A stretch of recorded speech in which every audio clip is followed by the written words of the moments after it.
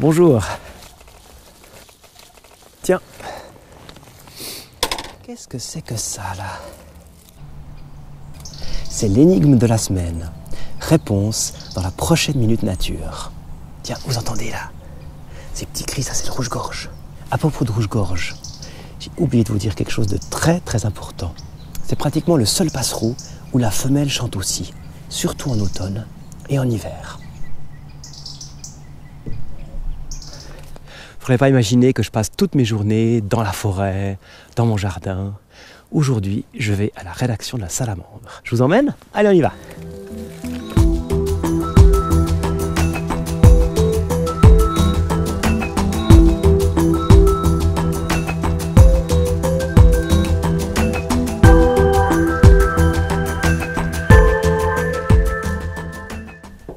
Voilà, ça, c'est mon bureau. Et aujourd'hui, j'ai envie de vous raconter l'histoire d'un bon ami à moi. Vous voyez cette affiche-là? La vallée des loups. C'est une affiche de cinéma. C'est un film qui va sortir en salle le 4 janvier. Et ce film raconte l'histoire de Jean-Michel Bertrand. Et la Salamandre a été le premier partenaire de ce film. C'est l'histoire d'un réalisateur qui tourne des films dans le monde entier. Et puis un jour, il en a la nausée de tous ses voyages. Il rentre au pays. Et puis il se choisit une vallée sauvage, une vallée magnifique, une vallée où il allait bivouaquer avec ses copains quand il était gamin. C'est vraiment une belle vallée, il me l'a montré.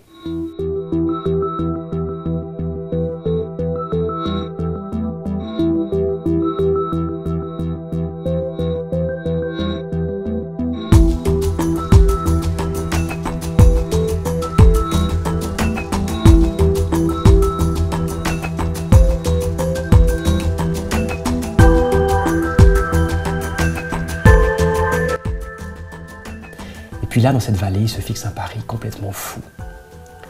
Il décide d'y passer des semaines, des mois, des années s'il le faut, avec un objectif tout simple.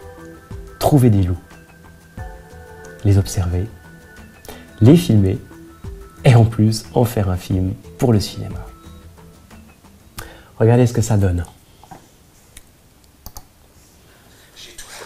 Caméra, télescope, enregistreur de son au cas où. Voilà la fameuse qui ressemble à une grotte de loup avec euh, beaucoup de poils. J'arrive de tout en bas là-bas. Il faut que je me trouve un endroit pour dormir.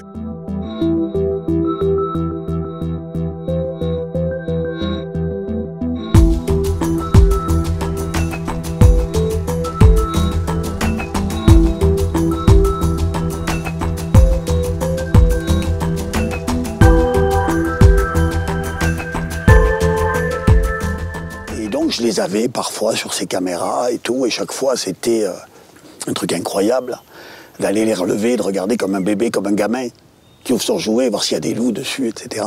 Et puis euh, le fait de ne rien voir de l'hiver quand même malgré tout, d'avoir des traces par terre, d'avoir des loups sur les caméras automatiques, pour moi c'était comme un fantôme. Je me suis dit, le loup c'est le fantôme de la forêt. C'est un fantôme. Il est là, je sais qu'il est là, mais je le vois pas. Et, je passais des, des nuits et des nuits. Pendant des mois, Jean-Michel, seul dans sa vallée, cherche, il bivouaque, il enchaîne les affûts. Et puis au bout de 4 mois de recherche, il a une chance incroyable. Pendant 10 secondes, face à face avec un loup.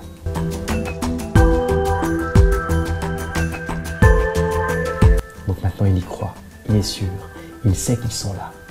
La quête continue. Mais ça va durer encore une année avant qu'il ait la chance de les retrouver et même, petit à petit, qu'ils puissent se faire accepter par la meute.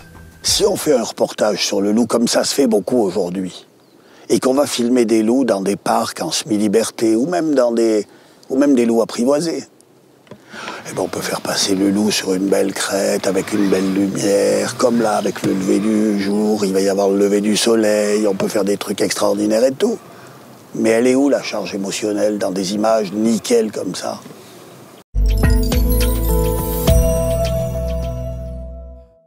Le petit plus cette semaine, eh ben, c'est ce livre, La vallée des loups, qui raconte cette belle histoire avec euh, les photographies de Bertrand Baudin sur la piste du loup dans une vallée sauvage des Alpes avec Jean-Michel Bertrand. Un très beau livre que vous pouvez commander à la salamandre. Voilà, ça se passe près de chez vous. Rendez-vous dans deux semaines.